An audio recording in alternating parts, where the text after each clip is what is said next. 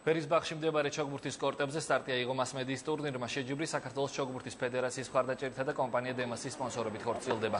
ასპარეზობა წყვილთა შორის იმართება და მასში მასმედიის 40-მდე წარმომადგენელი მონაწილეობს. გამარჯვებული 22 სექტემბერზე ამოვლინდება და მასაჩხრად კომპანია დემასისგან 1000 ლარიანი ფულადი ჯილდო გადაეცემა პრიზიორები კი 600 ლარით დაჯილდოვდებიან. ტურნირის თავისი შინაარსით ატარებს მასმედიის წარმომადგენელთა ესე იგი მონაწილეობით ტურნირს და ცხადია არ არის აქ მხატვრებიც არიან, კომპოზიტორებიც არიან, შემოქმედებითი ხალხი არიან და ჩოვლი მოწვეული ხალხი, მოწვეული მოკვდავებიც არიან და არის დიდებული ზეიმი ჩოგბურთის. საკმაოდ ძლიერი მონაწილეები არიან და არ ვიცი გამარჯვების იმედი, მე მოყვარული ვარ როგორც ასეთი და ძლიერი მოთამაშეები არიან, ასე რომ ვთქვათ.